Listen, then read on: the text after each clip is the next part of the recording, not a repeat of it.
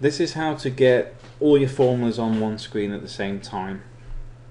Very useless, yeah, useless, useful for when you're looking for errors. It's also very useful for seeing how somebody's processed their workbooks because um, you could have 25 spreadsheets all interlinked and you're wondering where they get the data from because you get it coming in one way and you've got the outputs but where did they get it from so this is very important uh, what you want to do is click formulas and if you go to show formulas you'll see it's just appeared down here. It's open it spreads the sc screen out shows you exactly uh, everything that's on the screen.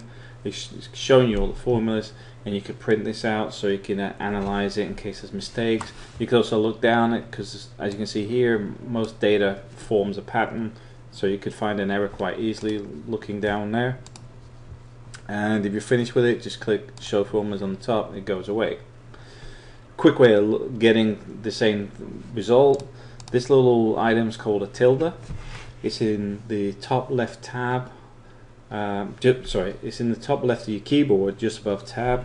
And if you hold the control key and then press it you will see one click you can actually open up the page very quick way of doing it because you might be analyzing something here and just want to have a quick look see what the uh, input was to get that output uh, what the formula was doing.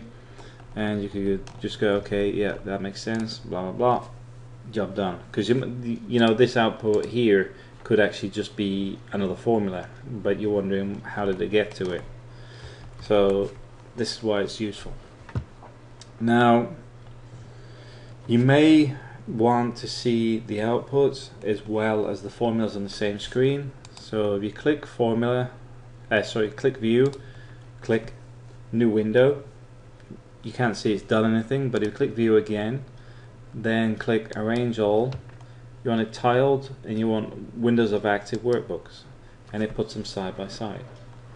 Now this left one I can leave as a formula window and then the one on the right you can actually turn around and see what you've actually got um, data wise the outputs so you can actually work with the two um, to make sure you've got everything the way you want it Thanks for watching.